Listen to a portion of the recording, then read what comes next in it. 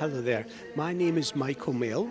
I'm from London in the UK and I'm the Executive Director of the Foundation for Jewish Heritage, which is dealing with the preservation of Jewish heritage internationally. Uh, I, have been delighted to be involved with Future for Religious Heritage for a number of years. I think it's, it's fascinating to be part of a wider network of heritage experts who are working in the particular field of religious heritage, which has its own particular issues and challenges that relate right across Europe and across the different denominations. Obviously, religious heritage has played a, a, crucial role in the evolution of European society and European civilization. It is so integral.